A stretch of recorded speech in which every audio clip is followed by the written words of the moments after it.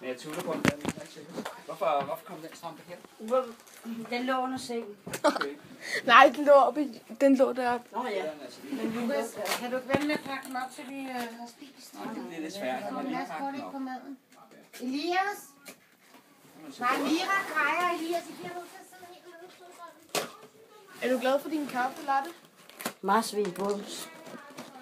Og Den her video kommer op på Marsvino Vlogs. Den her video kommer op på... Socks. Når Lukas han har fået et tastatur. Oh, jævla man.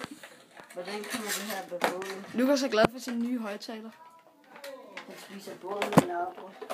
Spiser han er i ikke den lav. samme som min. Men noget stil det? det samme. Nej. Nej, fordi min er også trådløs, og der er en ladestation til jer nu. Men den holder ikke mere end sin tid, når den er trådløs. Skal op omkring de 1000 kroner for at få en ordentlig trådløs mus. Det er sgu dyrt. Kan den så skifte farve? Ja, farver. Hvis du har noget spraymering, så kan du skifte farver lige så tit du har lyst. Men hvor er den der ostehaps henne? Jeg tror, den kan skifte, det der lys kan skifte farve. Øh, så tror jeg den måske i fryseren. Lukas, kan vi ikke uh, snakkede spise om og så sætte den til bagefter? Ja, Nu sidder vi alle sammen og venter på dig, og skal synge, øh, jeg ved ikke om de skal, skal de synge kystesang?